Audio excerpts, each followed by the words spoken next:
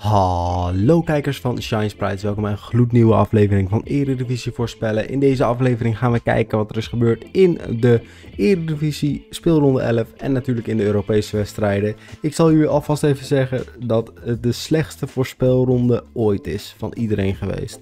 Er is één iemand die heeft 10 punten gehaald, de rest heeft er allemaal onder.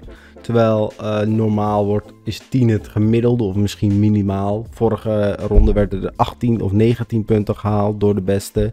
En nu 10 door de beste als enige. Dus het is echt.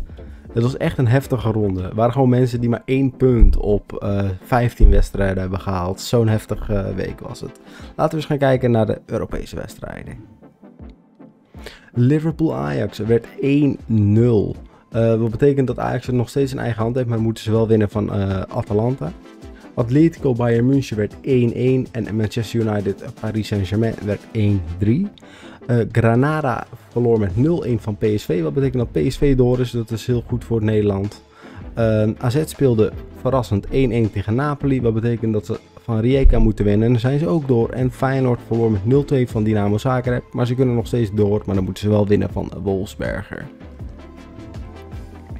Dan kijken we naar de uitslagen in speelronde 11 van de Eredivisie. Sparta won met 2-1 van Emmen. Dat was denk ik de enige logische uitslag. Um, verder uh, RKC VVV werd 3-2. Fortuna won met 3-2 van Willem II. Uh, Ajax verloor hun eerste wedstrijd met 1-2 van uh, FC Twente. PEC Zwolle won met 2-1 van Vitesse. Feyenoord Heracles werd 0 0.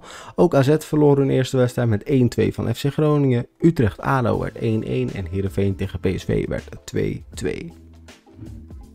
Dan is dit de ranglijst van de Eredivisie na speelronde 11. Ajax staat bovenaan met de 27 punten. Dan komt Vitesse met 25 punten.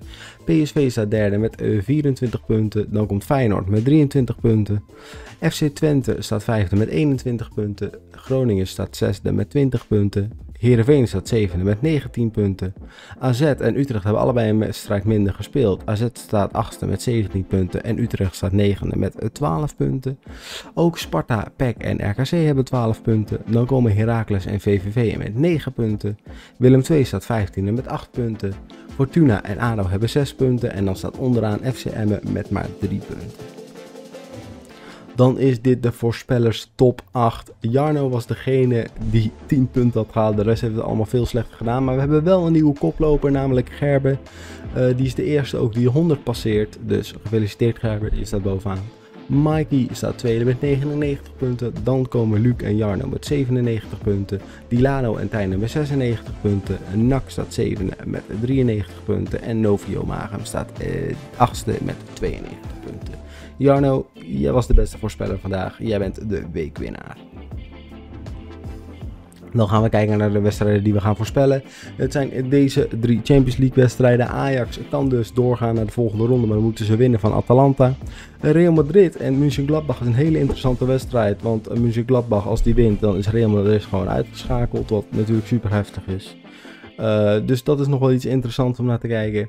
En uh, Barcelona moet tegen Juventus. Die zijn wel allebei al door, maar dat is geen wedstrijd die je kon laten liggen natuurlijk. In de Europa League uh, moet PSV tegen Omonia Nicosia. PSV is natuurlijk al door.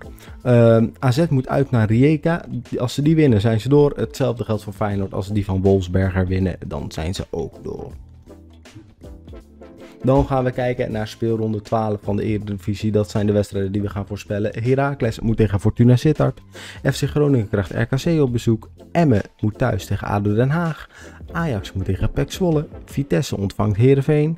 VVV moet tegen Feyenoord. Willem II moet tegen Sparta. PSV ontvangt FC Utrecht. En FC Twente moet thuis tegen AZ.